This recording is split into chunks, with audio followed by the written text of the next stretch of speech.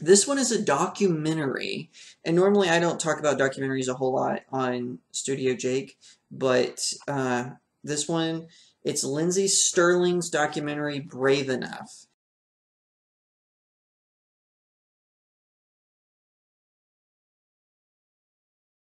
And Lindsey Stirling is one of my favorite YouTube um, uh, stars. She started out on YouTube and now she's touring. She has CDs. Um, go to my blog, www.jacobairey.blog. I have written several, probably dozens of music reviews about Lindsey Stirling. So I'm so excited. Um, they're going to do a documentary about her. I believe uh, YouTube, it's going to be on YouTube Red. So I've got the trailer here. I've not seen it yet. I saved that for you guys, even though I wanted to see it the minute it came out. But I waited for you guys because you guys are awesome. So here we go. Lindsey Stirling, Brave Enough. Okay, shows her about to go out on stage. Crowd, different images of her getting ready. I know what it feels like to not believe in myself. Hmm.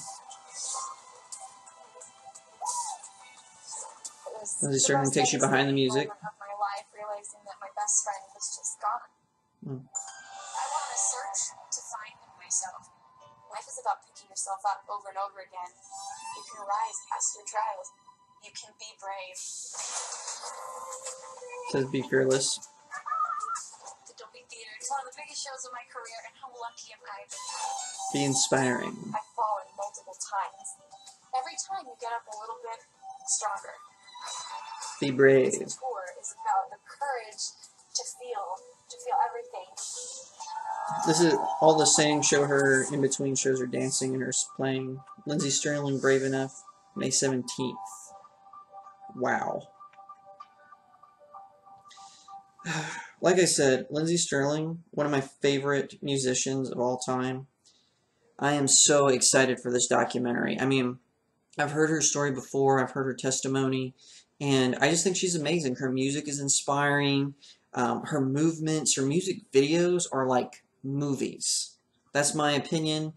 And if you disagree with me, you're wrong. But I just am so excited for this documentary. I can't wait to see it. It's going to take us behind the scenes of Brave Enough. I really think it's going to be fantastic.